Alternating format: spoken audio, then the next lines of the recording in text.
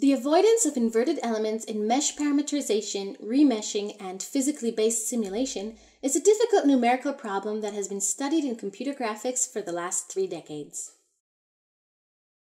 We propose a novel method to compute locally injective maps that is guaranteed to minimize an isometric or conformal energy while scaling to datasets with tens of millions of faces.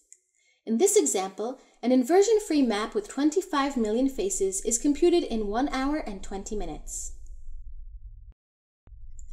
Our method iteratively computes a locally injective map by minimizing a simpler energy, enriching it with a matrix reweighting scheme that makes it mimic complex energies that forbid flips.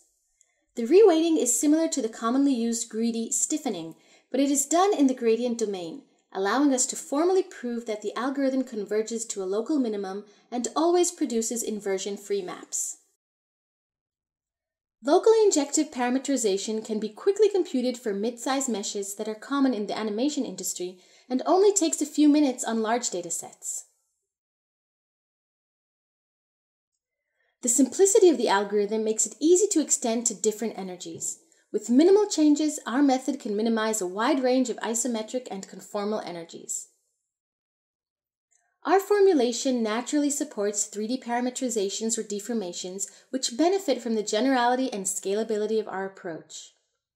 These properties make our algorithm ideal for a variety of other applications, including seamless global parametrization. Starting from a highly distorted Tutte's parameterization, we first minimize an isometric energy,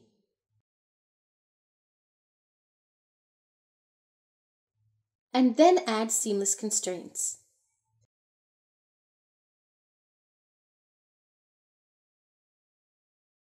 Thank you for your attention.